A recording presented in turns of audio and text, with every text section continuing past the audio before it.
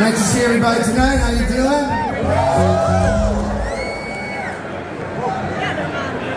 doing? We call this rock and roll music, by the way.